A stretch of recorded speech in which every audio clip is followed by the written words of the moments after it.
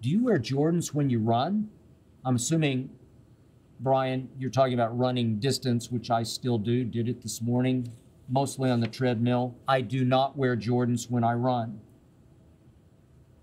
For me, Jordans have always been much more for show than for performance, especially the ones, the originals. I, I still have no idea how Michael Jeffrey Jordan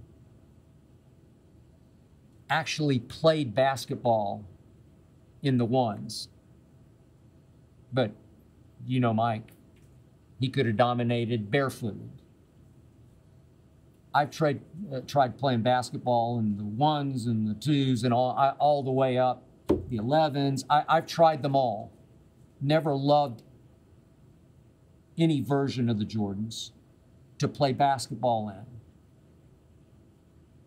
Do I ever love wearing them, especially with suits? But when it comes to running distance, I'm only concerned with my health, with staying healthy through trial and error. As weird as it might seem, I found that the running shoe that best protects me from injury, that best fit my feet like gloves, are made by Reebok. I don't know why. It's just Reebok, and it's an older line called Float Ride.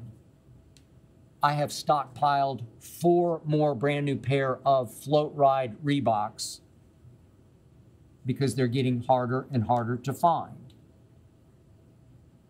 And this is even weirder, but when I do play basketball, I still play in an old line of Fila's that I stumbled upon maybe 10 years ago. Fila's. I, I, again, when it comes to actually running, jumping, playing basketball, running distance, I'm only concerned with staying healthy.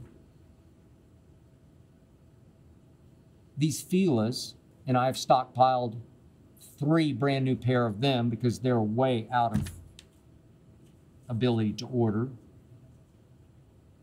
But they're like wearing lightweight tanks on my feet.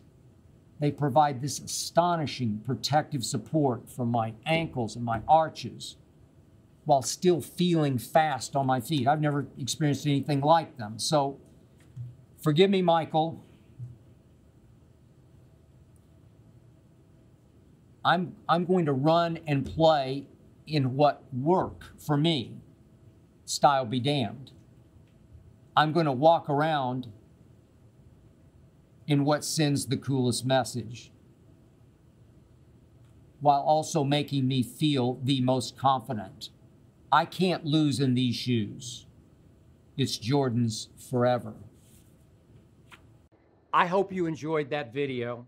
You ready for more? Make sure you click that subscribe button for all the exclusive content from The Skip Bayless Show. And don't forget, to check out the full episode of the show wherever you get your podcasts by clicking the link in the description.